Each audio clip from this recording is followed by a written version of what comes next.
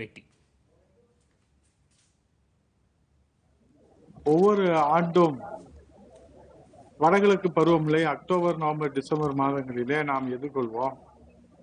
இந்த ஆண்டு அக்டோபர் மாதம் இறுதியிலே துவங்கிய இந்த வடகிழக்கு பருவமழையில தற்பொழுது தென்மேற்கு வங்கக்கடலிலே ஆழ்ந்த காற்றழுத்த தாழ்வு மண்டலமானது இன்று அதிகாலை ஐந்து முப்பது மணி அளவிலே புயலாக மாறி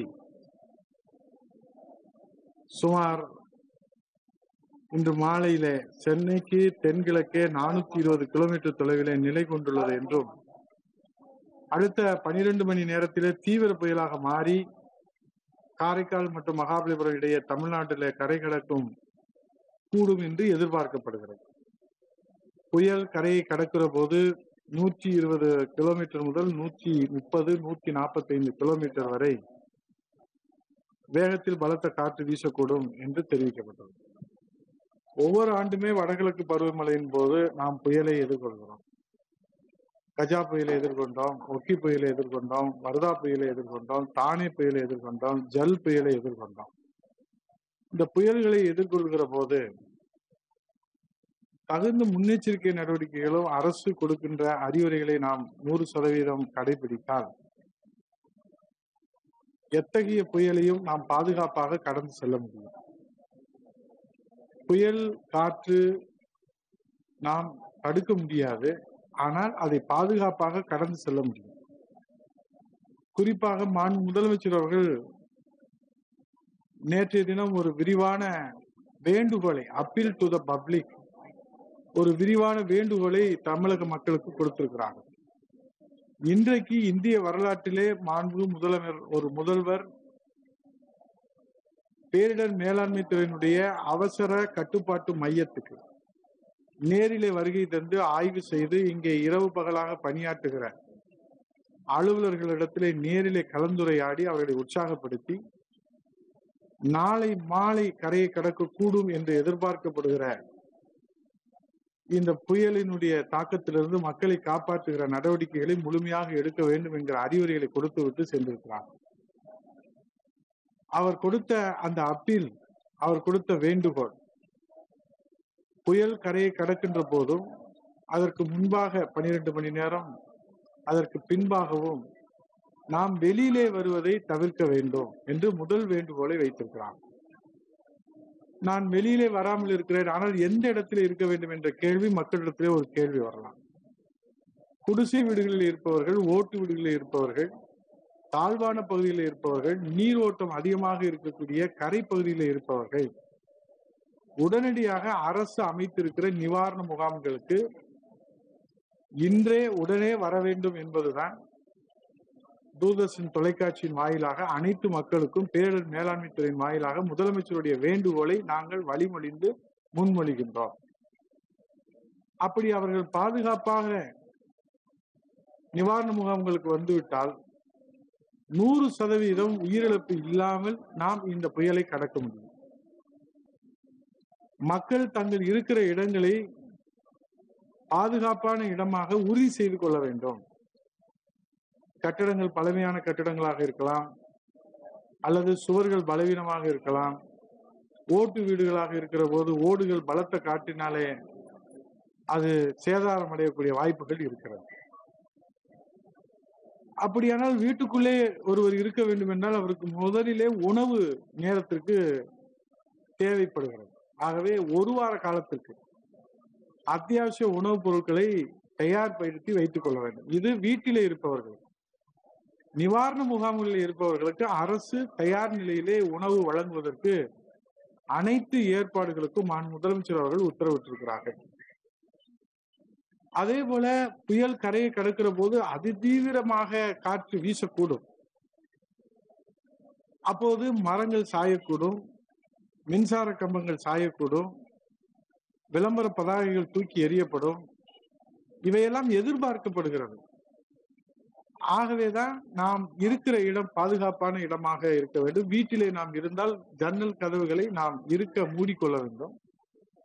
கண்ணாடி கதவுகளாக இருக்கிற போது அது சேதாரம் அடையக்கூடிய வாய்ப்புகள் இருக்கிற காரணத்தினாலே அதற்கான முன்னெச்சரிக்கை நடவடிக்கைகளை நாம் மேற்கொள்ள வேண்டும்.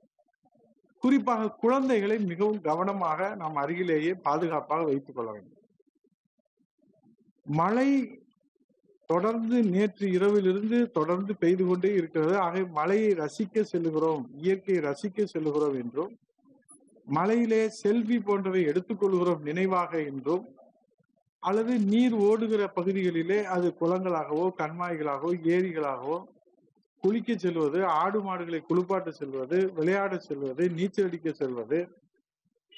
இது போன்ற நடவடிக்கைகளிலே முற்றிலுமாக தடை செய்யப்பட்டு இருக்கிறது அதற்கு நம்முடைய பெற்றோர்கள் பெரியவர்கள் குழந்தைகளை கவனமாக வைத்துக் கொள்ள வேண்டும். ஏனென்றால் அவர்கள் குழந்தைகள் தண்ணீரை பார்த்தவுடன் அவர்கள் ஆர்வத்தோடு அதில் குளிக்க அது என்பது இயற்கை.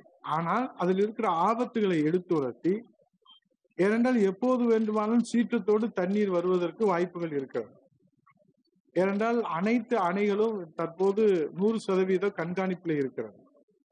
பாசன ஏரிகள் குளங்கள் நீர் தேக்கங்கள் எப்போது வேண்டுமானாலும் உபரி நீர் முன்னெச்சரிக்கை நடவடிக்கையோடு திறந்து விடப்படும். ஆகவேதான் நீர் தேக்கங்களிலிருந்து வெளியேற்றப்படுகிற நீரில் அளவு மட்டுமல்ல சாலைகளிலே தேங்கி இருக்கிற நீரும் நாம் கவனத்தோடு கடக்க வேண்டும். அதே போல தரைப்பாலங்கள் அதே போல தண்ணீர் எங்கெல்லாம் தேங்கி கிடக்கிறதோ அங்க கவனத்தோடு இருக்க வேண்டும். மின்சார சாதனங்களை நாம் கவனத்தோடு கையாள வேண்டும். மின் கம்பிகள் எங்கேனும் அருந்து கிடந்தால் அந்த திசை பக்கமே நாம் செல்லக்கூடாது. மின்சாரத்துறையின் சார்பிலே மாண்புமிகு அமைச்சர் அண்ணன் தங்கமணி அவர்கள் உரிய முன்னெச்சரிக்கை நடவடிக்கை எடுத்து அவசர கட்டுப்பாட்டு மையங்கள் அமைத்து நடவடிக்கை எடுத்திருக்கிறாங்க இருந்த போதிலும் நாம் மின்சாரம் அந்த தடை ஏற்படுத்துவதற்கு நாம் தயாராக இருந்தாலும் அருந்த மின் கம்பிகள் சாய்ந்த மின் கம்பங்கள் அந்த பகுதிக்கு நாம் செல்லக்கூடாது. அதே போல தேங்குகிற நீரை உடனடியாக வெளியேற்றுவதற்கு மாண்பு உள்ளாட்சித்துறை அமைச்சர் அண்ணன் எஸ் பி வேலுமணி அவர்கள் தயார் நிலையிலே அனைத்து ஏற்பாடுகளும் சென்னை மாநகராட்சிக்கு பதினைந்து மண்டலங்களுக்கு ஒரு கண்காணிப்பு அலுவலர் இந்திய ஆட்சி பணி. முப்பத்தி ஆறு வருவாய் மாவட்டங்களுக்கும் மாவட்ட ஆட்சியரோடு இணைந்து பணியாற்றுகிற இந்திய ஆட்சி பணி. இப்போது இங்கு இருபத்தி நாலு மணி நேர கட்டுப்பாட்டு அறையிலே relief commissioner Phanindra Reddy IAS அவர்களும் நம்முடைய வருவாய்த்துறையுடைய அரசு செயலர் அதுலே மிஸ்ரா ஐஏஎஸ் அவர்களும் director of disaster management Jagannathan IAS அவர்களும் பணியாற்றினாலும் கூட சிறப்பு கண்காணிப்பு அலுவலராக குமரகுரு ஐஏஎஸ் அவர்கள் இங்கே இருபத்தி நான்கு மணி நேரம் அவர்கள் பங்கேற்றார். இதே போன்று ஒவ்வொரு வருவாய் மாவட்டங்களிலும் குறிப்பாக இப்போது கடலூர் மாவட்டத்தை எடுத்துக்கொண்ட வேளாண்மை துறையினுடைய முதன்மை செயலாளர் டேடி அவர்கள் அங்கே களத்தில் நின்று பணியாற்றி கொண்டிருக்கிறார். இப்படி அந்தந்த மாவட்டங்களிலே அனுபவம் வாய்ந்தவர்கள் மாவட்ட ஆட்சியரோடு மாவட்ட நிர்வாகத்தோடு நிவாரண முகாம்கள் நீர்நிலைகள் எல்லாம் கண்காணித்து தேங்குகிற நீரை ராட்சச மீன் மோட்டார்கள் மூலம் வெளியேற்றுவதற்கு துரித நடவடிக்கைகள் எடுத்து வருகிறார்கள். பயிர் சேதத்தை பொறுத்தளவில் நூறு சதவீதம் இன்சூரன்ஸ் செய்ய வேண்டும். என்றால் இரவு கூட பயிர் சேதத்திற்கான இன்சூரன்ஸ் என்றால் வந்ததற்கு பிறகு நான் இன்சூரன்ஸ் செய்கிறேன். காப்பீடு பயிர் காப்பீடு செய்கிறேன் என்று சொன்னால் அந்த பயிர் காப்பீட்டினுடைய அந்த வங்கிகள் ஏற்றுக்கொள்ள மாட்டாங்க. ஆகவே வருவதற்கு முன்பாகவே நாம் பயிர் காப்பீடு செய்ய வேண்டும் நூறு சதவீதம் செய்ய வேண்டும். அதே போன்று தென்னந்தோப்பு வாழைத்தோப்பு பலாத்தோப்பு கடலூர் மாவட்டங்கள் எல்லாம் இருக்கக்கூடிய பலா மரங்கள் இவைகள் எல்லாம் நாம் இன்றைக்கு தகுந்த முன்னெச்சரிக்கையை பாதுகாப்போடு நாம் வைத்துக் கொள்ள வேண்டும். அதே போல டிராக்டர் போன்ற வாகனங்களை எல்லாம் பாதுகாப்பான இடங்களிலே வைத்துக் கொள்ள வேண்டும். இது போன்ற முன்னெச்சரிக்கை நடவடிக்கைகளை நாம் நூறு சதவீதம் முழுமையாக கடைபிடித்தால் இந்த நிவர் புயலிலிருந்து நாம் பாதுகாப்பாக கடந்து செல்ல முடியும். பல்வேறு புயல்களை நாம் பார்த்திருக்கிறோம். மக்கள் கொடுக்கிற ஒத்துழைப்பின் அடிப்படையிலே மட்டுமே நாம் இதை முழுமையாக கடந்து செல்ல முடியும். பாதுகாப்பாக கடந்து செல்ல முடியும்.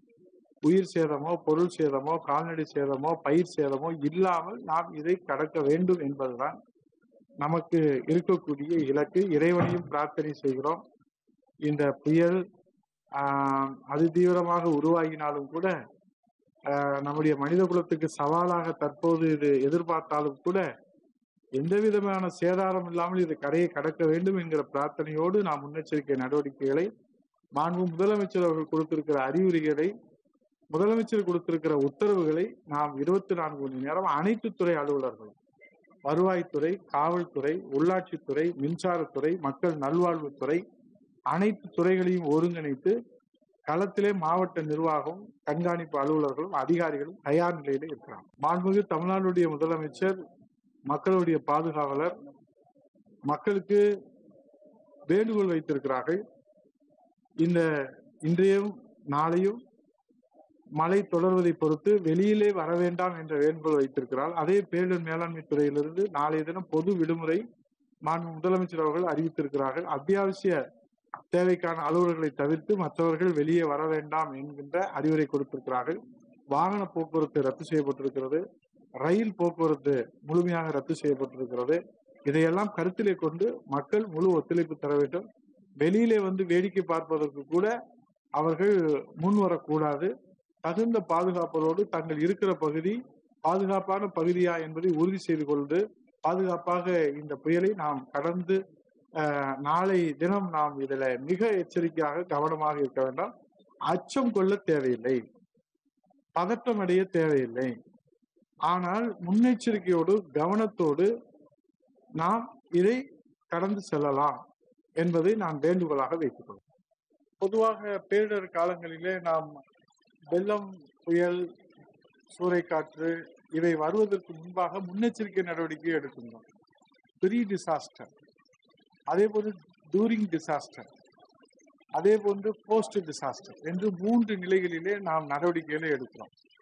இந்த ப்ரீ டிசாஸ்டர் வெள்ளம் வருவதற்கு முன்பு பேரிடர் வருவதற்கு முன்பு ஐடென்டிபிகேஷன் ஆஃப் வல்லரபிள் லொக்கேஷன் பாதிக்கக்கூடிய இடங்கள் கண்டறியப்படுவது. அந்த வகையில அதிக பாதிப்புக்குள்ளாகும் பகுதிகள் என்று எழுநூ முன்னூற்றி இருபத்தி ஒன்றும்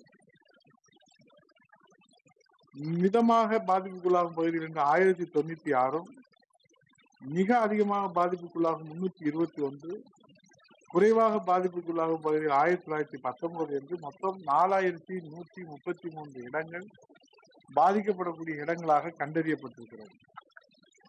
அந்த இடங்களில் எல்லாம் இருபத்தி நான்கு மணி நேர கண்காணிப்புக்காக மாண்பு முதலமைச்சருடைய உத்தரவுக்கு இணங்க மாவட்டம் கோட்டம் வட்ட அளவிலான கண்காணிப்பு அலுவலக தலைமையில் அறுநூத்தி அறுபத்தி ரெண்டு பல்துறை மண்டல குழுக்கள் அமைக்கப்பட்டுள்ளன. தேசிய பேரிடர் மீட்பு படை மற்றும் மாநில பேரிடர் மீட்பு படையினரெல்லாம் பயிற்சி பெற்ற இரண்டாயிரத்தி நானூத்தி எண்பத்தி ஏழு காவலர்கள் அனைத்து கடலோர மாவட்டங்களிலும் சென்னை நீங்களாக இரண்டாயிரத்தி இருநூத்தி பதினெட்டு காவலர்கள் இதர மாவட்டங்களிலும்.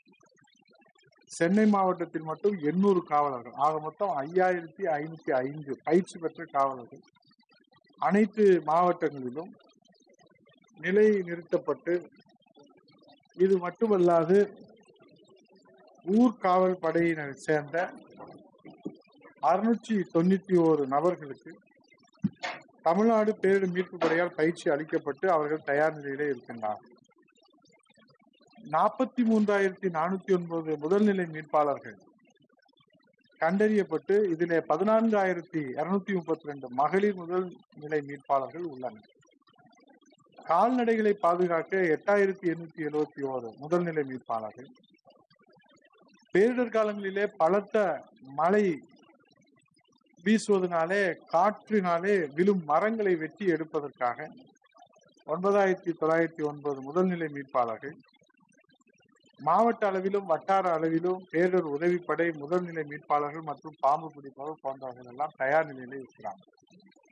நிவாரண முகாம்கள் நூத்தி இருபத்தி ஒரு பர்மனன்ட் சென்டர் பல்நோக்கு பாதுகாப்பு மையங்கள் உள்ளிட்ட நாலாயிரத்தி எழுநூற்றி பதிமூன்று தங்கு மையங்கள் தயார் நிலையிலே உள்ளன. இதிலே போதிய வெளிச்சம் தூய்மையாக வைத்திருத்தல் மின்சார வசதி குடிநீர் உணவு சுகாதாரம் மருத்துவ வசதி நிவாரண முகாம்கள் ஜெனரேட்டர்கள் தயார் நிலையிலே நாம் வைத்திருக்கின்றோம். இதோடு அந்த முகாம்களிலே கோவிட் பத்தொன்பது கொரோனா வைரஸ் நோய் தொற்றுக்கான நடவடிக்கைகள் எடுக்கணும் டிஎன் ஸ்மார்ட் என்கிற செயலின் மூலமாக நாம் உரிய தகவல்களை பெறலாம். அதே போல இருபத்தி நான்கு மணி நேரம் இந்த கட்டுப்பாட்டு மையம் வருவாய்த்துறையினுடைய அரசு செயலாளர் அப்துல் மிஸ்ரா ஐஏஎஸ் அவர்கள் நம்முடைய குமரகுரு ஐஏஎஸ் அவர்கள் பனிந்த ரெட்டி ஐஏஎஸ் அவர்கள் ஜெகநாதன் ஐஏஎஸ் அவர்களோடு இது இயங்குகிறது ஆகவே இது அனைத்து மாவட்டங்களிலும் உடனுக்குடன் நிலவரங்களை நாம் கட்டுப்பாட்டுக்குள் கொண்டு